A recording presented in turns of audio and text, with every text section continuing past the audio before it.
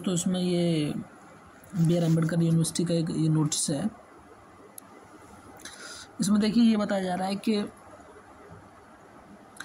ये जो लिखा गया है सीधा सीधा कि देखिए, ये जो ग्रेजुएशन है या फिर पोस्ट ग्रेजुएशन वाले हैं, ठीक है? तो उनका जो मतलब या फिर बी एल वाले जो है, ठीक है? या बी एड वाले जो सेकेंड ईयर वाले हैं बी एल एल बी तो उसमें तृतीय है ना? तथा बी एल बी की जो लिखेगा, जो थर्ड ईयर के हैं या फोर्थ ईयर के हैं या फिर लास्ट ईयर के हैं, पंचम ईयर के हैं, है ना? और बी एड वाले हैं जिनका अगर कोई प्रैक्टिकल एग्ज़ाम कोई रह गया है तो उसके विषय में है ये। आप उसे इकतीस तारीख से, है ना? देखिए, ये लिखा गया है। आप उसे इकतीस तारीख से इकतीस से लेके आप ग्यारह तारीख तक उसे फिल कर सकते हैं जनवरी फरवरी में, ठीक है? एक हज़ार रुपये आप पे फॉर्म लग, देखिए, लिख रहा है। एक हज़ार रुपये लग जाएगा भाई। रुपये एक हज़ार रुपये ऑनलाइन आवेदन कर सकते हैं, ठीक है?